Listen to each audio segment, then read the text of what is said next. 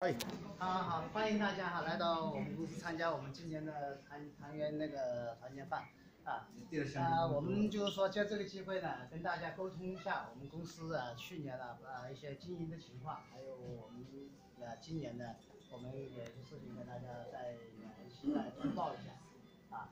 呃，我们二零一七年呢，我们啊产生的那个有效的销售啊，我们是二百一十一台机器啊。就是说有效的销售啊，真正就是有效有效合就是产生有效合同的啊，二百一十一个二幺幺啊，这个很好的数字啊，重点大选。所以说也也是说啊，创了我们公司的就是说开业以来的一个新的记录啊。所以说我们在公司经营方面呢，也就是说抱着一个大家共享的那个理念，所以说我们在前不久的那个。年终奖的发放，还有一些工资的调调薪方面呢，都共享了啊，我们这个呃去年那个销售的那个成果啊，啊，这个这个也是大家各位员工应该的啊，这个是我们呃这一年来啊，就是几乎是每每周啊，或者是每天都在加班啊，得到一个成绩，呃，也是大家各位员工呢。经常是说在晚上啊八九点钟十来点钟啊，甚至周六周日都是说不停的在微信里，我都看到很多同事都在讨论一些客户的问题啊，呃，那都是这些大家工作的一些一些回报啊。然后还有一个好的消息呢，就是我们去年的销售总的台数已经超过了九百五十台，就是有效的。从我们公司开业以来啊，我们。过完春节以后，很快就可以突破一千台了，啊，所以说公司这边呃也是在上了一个新的台阶，啊，所以说这这个是可喜可贺。啊，所以说但是呢，就是说总的来说呢，我们从公司成立啊这么多年以来啊，我们现在从刚开始每年出的机器也是很少。啊，慢慢的到现在为大家认可。但我们现在在市场上有近千台机器在外面运行，那我们以后啊还有没有空间？啊还有没有发展的更大的前呃空间给我们去发展？现在的目前的状况呢，我们还是产品还是以这个我们单一的产品为主啊啊，所以说我要借这个机会跟大家再沟通一下这个这个情况啊。首先呢，我们大家也看到哈，我们身处的这个行业呢。呃，我们是电子信息行业啊，电子信息行业就是说它一个特点就不断的在代际发展啊，所以说我们看到这个，马上一两年之内就会实现我们有五 G，还有那个互联网的那个那个物联网的那个产生啊，所以作作为这我们这个线路板行业呢是是这个电子信息工业的一个载体啊，这个行业就相当于那个工业社会的钢铁，所以说这个空间。啊，在未来的一两年以后，我们还是逐渐能够看得到的，啊，还是比较大。从另外一个角度来说的，从我们客户上面那个角度来说，我们现在的客户啊，就是说，在我刚刚就看了前年的那个报告，我们在我们线路板那个行业里面的前十大里面，啊，我们目前跟我们有效做成生意的，啊，就只有两家，一个就是建涛。还有一个就是深蓝，啊，我们线路板行里面的大老大哥最大的啊，富士康，我们现在门还没摸到，啊，我们还没有跟他达成任何交易，所以说啊，我们客户的这个空间还是有很大的那个那个那个那个那个空间可以做，那大家还是还是可以就这个产品来说，我们都还有很多可以挖掘的那个那个机会。富士康是什么概念？富士康的我看了它的产量，它的是第一名。他他的第一名就等于后面的二到五名加起来就是第一，就差不多是等于第富士康的这个这个范围啊，这个这个这个产量啊，所以说我们就光这个产品来说还很有空间可以做。第二个呢，我们现在的产品啊，主要是呃配套我们一些国内的一些设备啊，包括我们一些主要的国内的一些客户啊，在国内的国内的线路板厂在在不断不断的在在在往前这个深耕。但是就是我们来看呢，前面十大的线路板厂里面，国真正的国内的，就是说本土的线路板厂，只有深蓝，啊，只有深蓝。所以说，我觉得按照我们国内的电子产业的这个这个这个配比来说，我们手机包括手机这些，其实大家的基本上主要的都是在国内生产按照我们国内的电子产业的出品呢，跟我们这个跟我们这国内的本土的电路板厂的配比呢，其实现在还是不合适的。啊，就是说没有达到合理的范围。我们国内的国内的线路板厂，我觉得正常的配比应该是说，要在前十大的线路板厂里面，起码要四到五家，我觉得才跟我们中国现在的这个电子产业的这个这个地位相匹配。所以说，我们一定的还有一个方向就是，我们一定要抓住我们现有的客户，就现有的这些我们国内的线路板厂的这些客户，这些客户肯定会长大的啊。我们要陪伴着他们，陪着他们一起长大，啊，这个我们紧紧的抓住。我相信以后，当这些客户，包括我们看到深红啊、深蓝呐，包括我们景旺啊这些客户，当他们慢慢的成为整个线路板厂的前十名的时候，我们只要抓住他们的需求，我们自然而然就可以跟着他们一起长大。那这是我们第二个方向啊。第三个方向就可以跟大家讲，就是说呢，我们这个现在这个线路板行业、电子信息行业对这个电路的要求是越来越严格。啊，包括以后五 G 这些出来，所以说呢，这个检测技术的需求是需要是越来越广泛的啊，所以说这个大家是毋庸置疑的。所以包括行业空间呢这些东西，大家这个一定是非常非常有非常有很大的空间可以给大家做的啊。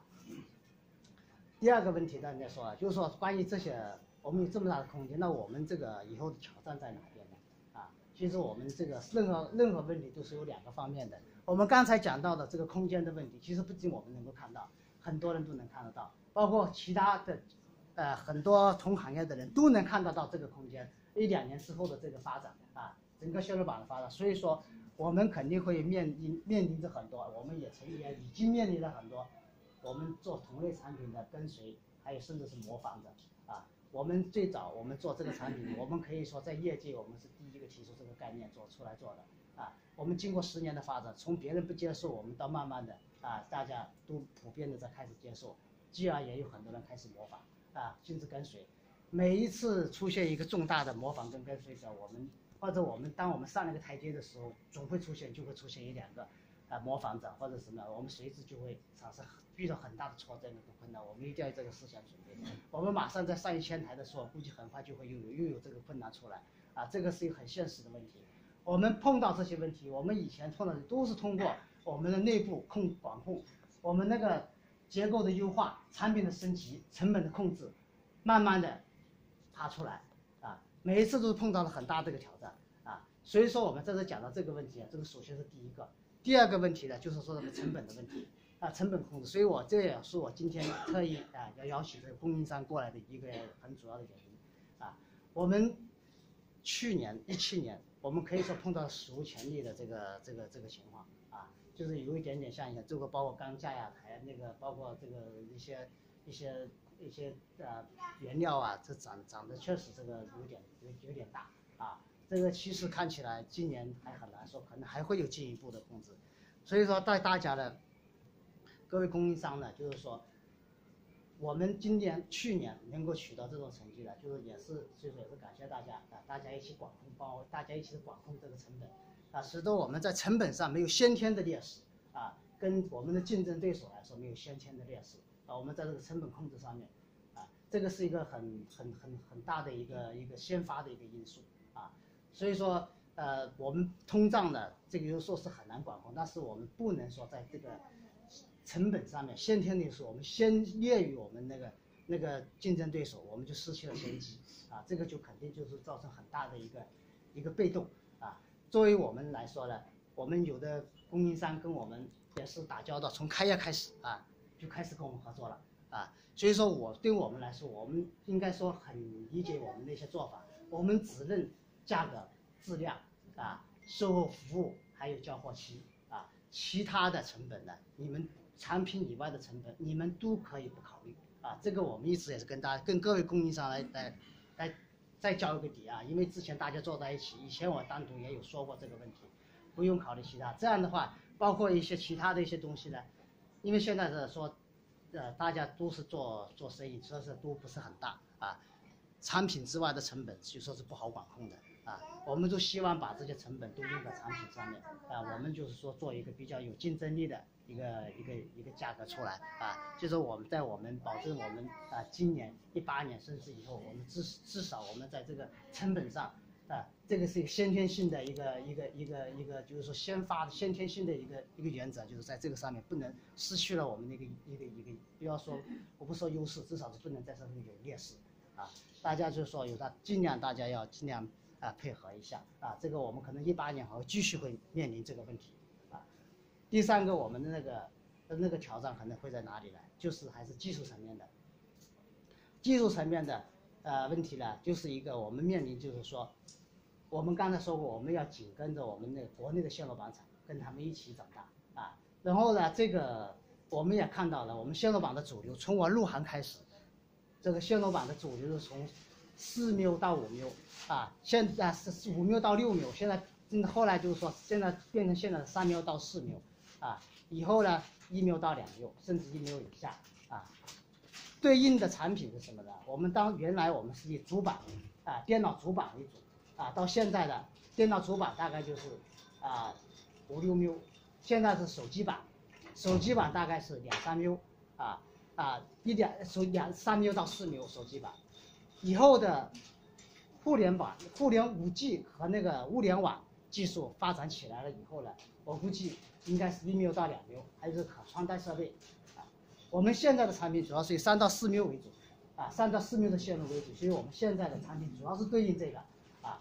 一一缪到两缪的产品呢，我我们的高新机啊，我们马上就我们自主知识产权的啊那个高新机。啊，我们在客户那边已经试用了十几台了。我们这个产品主要是针对一缪到两缪的，一缪到两缪的产品呢，就是针对五 G、物联网，还有就是说由此而产生的那个可穿戴设备啊，一些软板的一些应用啊，还有更高、更加高端的是什么？就是一缪以下的，可能零点五缪左右的线路，零点五缪左右的线路啊，这一个就是说二十就是十二微米左右啊，十二微米这个就是很细的，这种呢就属于芯片级别的。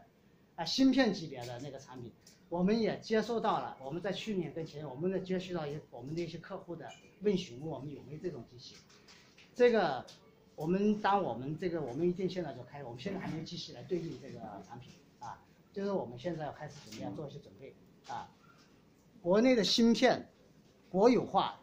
这个是肯定是趋势，而从现在慢慢的开始的，大家国家在大力发展芯片产业，以芯片为衬底的这个基板。这个肯定以后各家线路板厂慢慢的都要开始对应，所以我们今年一定要就开始做这方面的技术储备啊，就是关于一缪以下、零点五缪到零点六缪的这种线路，就是芯片级别的。啊，我们已经收到一两打的问询，我们也知道那个那个呃那个新生快捷也有在做芯片的，包括深南也有在做，我也了解过好几家都在做芯片级，就是芯芯片的衬板，但是现在这个还是日日本和韩国、台湾为主。以后这个方面也会慢慢的往国内增长，所以我们也要抓紧做这方面的那个储备啊，技术上的储备。另外一个层面来说，技术上的一些挑战是在哪里呢？就是我们的人工智能，还有那个无人工厂、工业四点零方面的这个挑战啊。这个方面呢，大家也已经看到，我们有好几家客户都在尝试啊，这个是也是我们本土线路板厂发展的一个方向。我们在这个方面呢，也做了很多很多的一些。呃，客户的配合呀，包括我们今天还有一位同事在工厂，在在江西的工厂里面帮客户做四点零的连接，啊，到现在都还不能回家出来啊，过来在家吃吃年饭都不都都没有时间，所以关于这种关于这个方面来说呢，我们一定要在抓住这个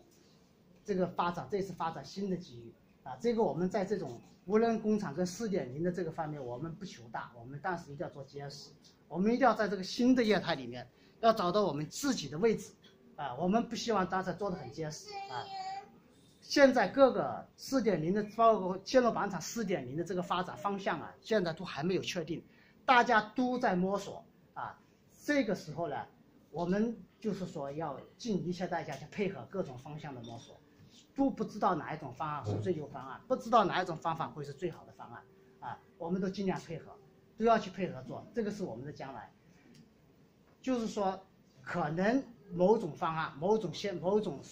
的线路板厂会对我们现有的机器的销售可能会产生一些妨碍或者是损害，我们也要去配合，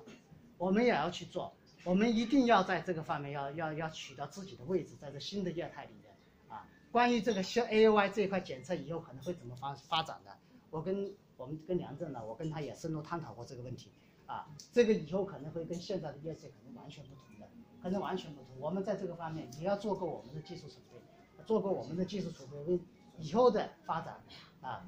要要做好各个方向的准备，各各种各样的准备啊。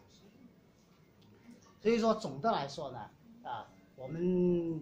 以后我们来看呢，这个一八年呢，我们这种机会啊跟挑战呢，啊，都是很多啊。关键是说，我们要做好自己的准备，